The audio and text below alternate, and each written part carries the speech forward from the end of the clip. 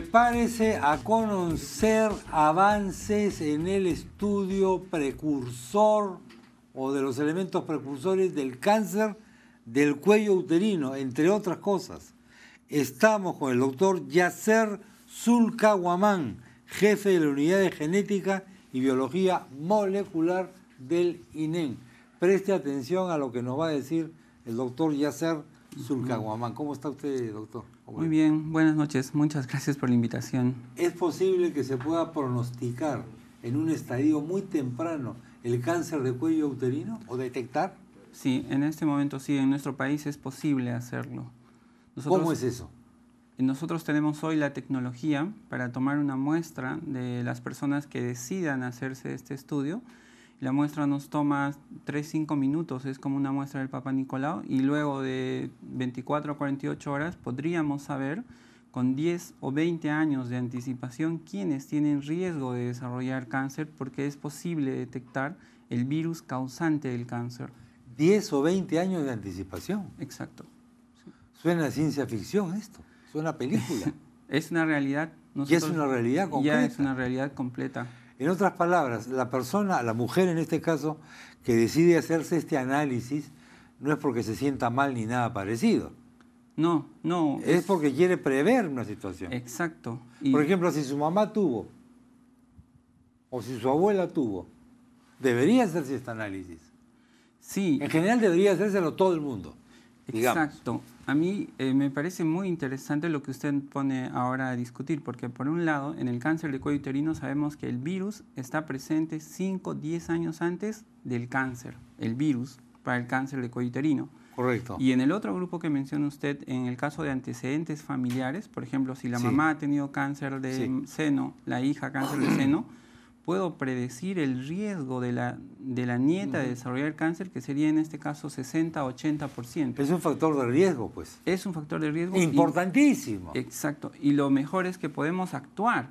O sea, ¿Cuándo le vamos a dar importancia de una buena vez a la biología y a la genética? ¿Por qué todavía nos consolamos diciendo, eh, si no tomas eh, trago no te va a pasar tal cosa? Perdón, doctor, yo no tomo, pero mis todos mis abuelos y todo el mundo tenía el hígado perforado. ¿Qué puedo hacer? No depende de mí, ¿no? No. No depende de mí. No, no. El virus, entonces, ¿este virus existe en nuestro organismo? Este virus, como... ¿Desde que nacemos? No. No. No. Este virus este, se presenta generalmente con el inicio de la vida sexual. Ok, correcto, muy bien. Entonces, cuando una persona inicia su vida sexual, tiene una alta probabilidad de contraer este virus. Por eso es que se relaciona la edad temprana de relaciones sexuales con la mayor probabilidad de tener cáncer. Cuanto más años tengo de relaciones sexuales y más temprano, más posibilidades. Exacto. Eso es estadística pura, digamos. Sí, y eso ya está demostrado. Entonces, si una persona inicia su vida sexual, es muy, muy importante que a la par del inicio de esta vida sexual se tenga que hacer los controles del virus. Este virus tiene diferentes genotipos. Unos son capaces de producir cáncer y otros simplemente producen verrugas. ¿Eso lo pueden detectar ustedes? Sí. En un momento inicial. Exacto. Cuando el virus todavía es un infante. Sí. Ni siquiera adolescente. No, no digamos ya un adulto reelegido y no, maldito, sino para nada. eso se puede hacer. En otras palabras, lo que usted nos está diciendo es que dentro de pocos años eso va a ser tan natural como la vacuna contra la polio, por ejemplo, hoy día. Sí. Prácticamente. Sí. Esto es una realidad en nuestro país hoy. Exactamente. Hoy. O sea, hoy lo podemos hacer. Hoy, hoy se puede hacer. Eh, lo recomendable es que lo hagan todas las chicas, digamos. Sí, todas las personas que inicien su vida sexual deberían hacerse este test. ¿Hay alguna edad? Adecuada para eso? ¿Depende un poco de la, edad? Generalmente, cuando uno ya empieza a ver en, términos de poblaciones, la edad más recomendada para iniciar estos test eh, de PBH sería entre los 25 y 30 años. De acuerdo. Pero eso es cuando yo hablo de la población en general como política de salud en la cual uno tenga que hacer.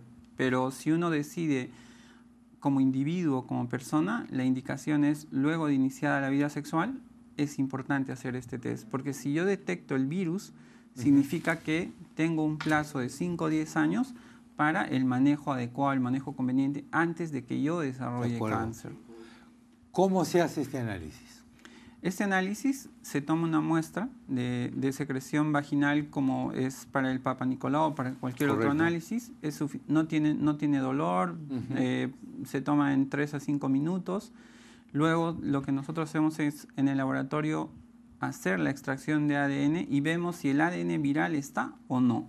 La sensibilidad, los límites de detección. Si yo encuentro una copia del virus, con el equipo lo puedo detectar en 10.000 a 100.000 células. Entonces esto supera la sensibilidad de otros métodos en el tema de la detección. Incluso ese solo virus, cuando ya está presente, lo que va a hacer con el paso del tiempo es replicarse.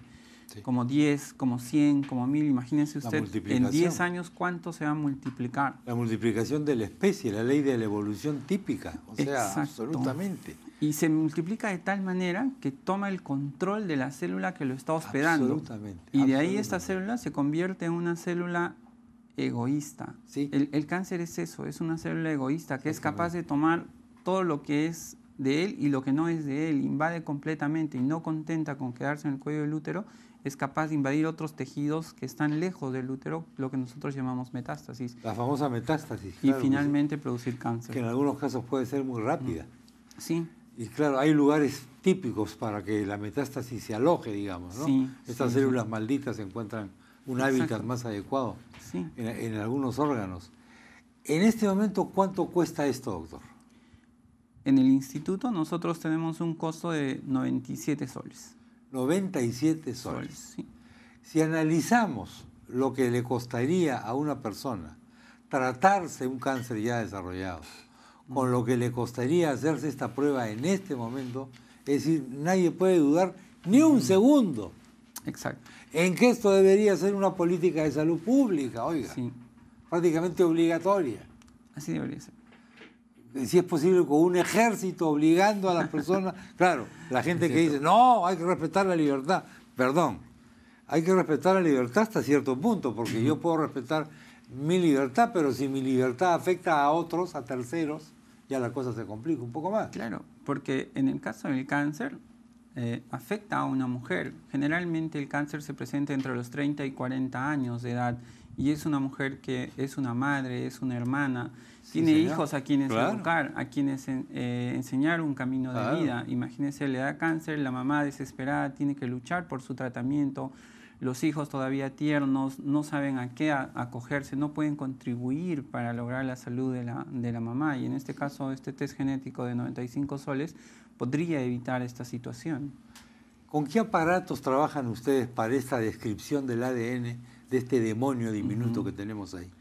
Eh, nosotros contamos con un equipo de PCR que es capaz de detectar fragmentos pequeños del virus. ¿PCR qué significa? Eh, significa reacción en cadena de polimerasa.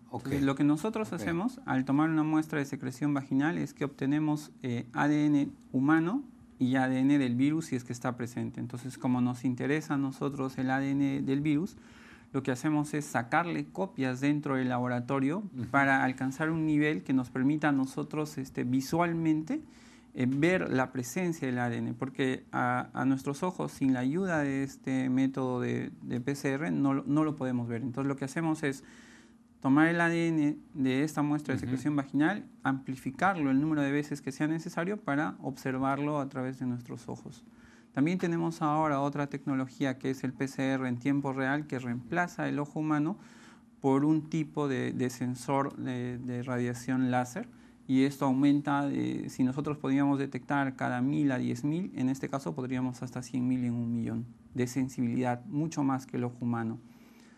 Entonces estamos desarrollando eh, esta tecnología en, nuestro país, en nuestro hospital, y hoy tenemos la capacidad de hacer esta detección. Eh, el INEN cuenta no solo con el Laboratorio de Genética y Biología Molecular, sino también con el, con el Servicio de Control y Detección de Cáncer Temprano. Hay una unidad que se dedica específicamente a estos planes de prevención y hoy estamos llevando a cabo dos pruebas mucho más grandes para poblaciones que están en riesgo. Eh, la persona que está escuchando el programa o está viendo el programa y quiere acceder a este servicio, ¿qué es lo que debe hacer? Eh, debe dirigirse al, Instituto Nacional de Enfermedades Neoplásicas. Nosotros le vamos a dar ahí las indicaciones para que su ginecólogo o su obstetriz le tome la muestra. La, muestra es una muestra bien, bien sencilla, no es nada complicada, es mucho más sencillo que el Papa Nicolau. Eh, porque aquí, para nosotros, si obtuviésemos 5 o 10 células, es suficiente para poder dar por válido este estudio. ¿Cuándo voy a poder ir yo al INEN o a algo, o algún organismo similar, digamos, que todavía no existe, y decir, doctor, por favor, hágame todos los chequeos eh, necesarios, quiero saber de qué voy a morir y cuándo, para yo poder planificar mi vida? Yo sé que a, mucha gente que yo le que yo le digo estas cosas me dice, pero ¿cómo puedes decir eso? Como si uno se muere, como si uno se muriese por hablar, ¿no? Pero yo creo que vamos a llegar a eso. Estamos en camino de eso. Eh, hoy estamos en camino. Estamos. Hemos avanzado bastante. La genética nos ha permitido entender muchas características que nosotros desconocíamos y pensábamos que era parte del azar. Sí, de parte del azar, o que eran cosas de la sociedad, de las costumbres, de la cultura. Y que no se, y que no se podían predecir. Por ejemplo, si uno tiene una alteración genética en uno de estos genes que se conoce como BRCA1 o BRCA2, yo puedo predecir mi probabilidad de desarrollar cáncer y podría decir que voy a tener cáncer con una certeza del 80% y probablemente esto va a ocurrir a los 40 años. A los 40 años, Si yo tuviese, por ejemplo, una mutación en otro gen que tiene que ver con cáncer de colon, yo tengo una certeza del 99% que antes de los 45 años voy a tener cáncer. Y si no me hago el control, es decir, a los 30, 35, 40, a los 45 probablemente yo no esté aquí porque tengo este gen que aumenta mi probabilidad de desarrollar cáncer. porque a pesar de que escuché en un programa de televisión que esto se podía hacer, yo dije, están hablando pavadas porque esto es una cosa que nadie puede detectar, que solamente Dios en su infinita sabiduría podrá discernir qué es lo que ocurre. Y no es así. Porque ya lo podemos saber. Sí, hoy tenemos estas herramientas, sobre todo en, en, los casos más específicos y concretos es cuando existen antecedentes familiares, es que podemos hacer estas predicciones. Y estos antecedentes familiares están en 5 a 30% de los casos de cáncer. Entonces, para este 5 a 30% tenemos este avance hoy que lo podemos usar en nuestro país. Quizás el otro 70% todavía tenga que esperar un poco más, pero ya tenemos pero información. ya es bastante. Ya es bastante. Con relación a lo que teníamos hasta hace poco, que en donde pensábamos que todo era fatalidad, que todo era azar. O si no, le adjudicábamos nuestros males a ciertas conductas, ¿no? Exacto. Y pensábamos que estábamos enfermos o teníamos cáncer porque éramos pecadores o cosas así.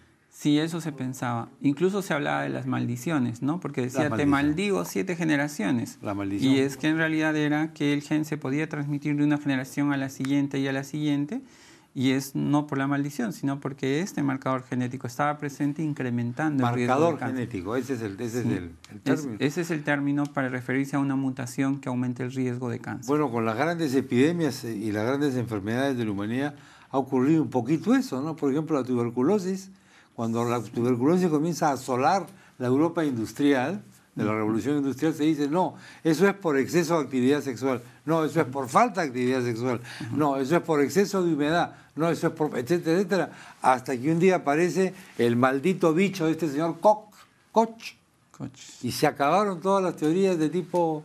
Exacto. ¿Usted recuerda qué, qué pasaba cuando uno tenía úlcer? Ah, estrés. Ah, te has peleado con tu mujer. Ah, no sé qué, momentito hay otro bicho que es el responsable de esta cuestión. Es el helicobacter en este caso. Exactamente.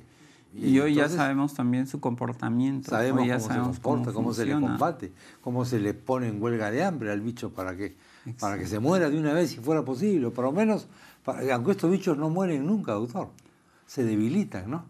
Sí, eh, lo que pasa es que también están en el medio ambiente. Entonces yo me puedo curar y si cojo una manzana que no está debidamente tratada, puedo volver a ingresar este, este bicho, esta bacteria, y entonces se vuelve a colonizar y se vuelve a presentar el mismo problema, y es un, problema muy difícil de manejar. Estas cosas que yo le llamo bichos, ¿tienen cerebro? Ah, no, no está descrito. No tienen cerebro. Nosotros somos un organismo eh, que lo podríamos definir como multicelular y nos permite agrupar diferentes tipos de células con funciones definidas. ¿no? Y una de esas funciones eh, que tienen que ver con el cerebro, en el caso de los humanos, es la mente. Entonces, si nosotros eh, tenemos eh, esta función que nos permite elaborar pensamientos, sostener una conversación y todo, es porque nuestro cerebro desarrolle esa actividad gracias a la interacción de miles de millones de neuronas. De neuronas. Situación que no está presente en las bacterias porque estas no tienen cerebro, son es la unidad mínima eh, de, vida que existe. ¿no? Después de las bacterias estarían los virus que están entre lo que es la, los el límite entre los seres inertes y los seres vivos. ¿no? El virus. El virus. El virus solo está vivo mientras está en un organismo hospedero, como podría ser el ser humano. El ser humano, claro. En cambio, la bacteria puede tener vida independiente de su hospedero. Y cuando el, el virus está fuera de un organismo vivo, se comporta como si fuese una piedra, que, no tiene vida. Inerte, exacto. ¿Por qué está usted en esto, doctor? Eh, estoy muy interesado en, aplicar los conocimientos que hoy se tienen y que pueden salvar muchas vidas. Hay muchas cosas que nosotros aquí en Perú hemos desarrollado y que tenemos ya la oportunidad de empezar a aplicar. Eh, esto no hubiese sido posible si no es gracias al apoyo de la Fundación Peruana de Cáncer. O sea, la Fundación a nosotros nos brinda apoyo tanto para capacitación como también apoyo para el desarrollo de diferentes proyectos de investigación. Y este es justamente uno de estos proyectos. Absolutamente fascinante. Absolutamente fascinante. Y, de una utilidad esto social, pero básica, esto. Sí, porque hace, hace mucho. Muy, muy, muy importante. hace mucho, mucho tiempo eh, yo tuve oportunidad de trabajar en la altura de Apurímac, con poblaciones que son excluidas. Entonces estas poblaciones, por ejemplo, no tienen acceso a los servicios de salud. Y hablar con ellos del tema de cáncer y lograr tomarles una muestra es prácticamente eh, un reto. Y cuando uno lograba hacerlo, muchas veces la muestra no se podía conservar adecuadamente porque para encontrar a esta población habíamos caminado 20, 40 kilómetros y entonces la muestra se degradaba, llegaba en malas condiciones.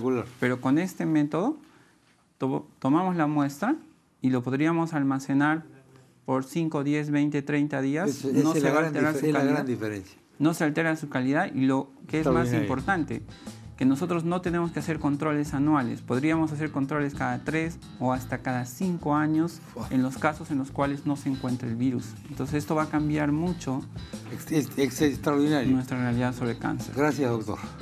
Muchas gracias a usted. usted muy amable. Le agradezco mucho por la entrevista. Muchas gracias. Señoras y señores, vamos ahora a unos brevísimos mensajes y regreso con Pedro Morillas, autor de un libro que se llama País Combi cuya carátula casi, casi lo dice todo. No estamos en el mejor de los mundos, aunque a veces pensamos que sí, con cosas como la que nos cuenta el doctor eh, Yasser Zulcaguamán, pero que se deben en gran parte al esfuerzo más o menos eh, eh, heroico de alguna gente. Pedro Morillas es un gran pesimista con este libro está destruyendo el poco cerebro que nos queda a los peruanos. Yo les voy a leer solamente los títulos de algunos capítulos del libro y se van a ver ustedes, ya van a ver ustedes de qué trata este libro llamado País Combi. Volvemos.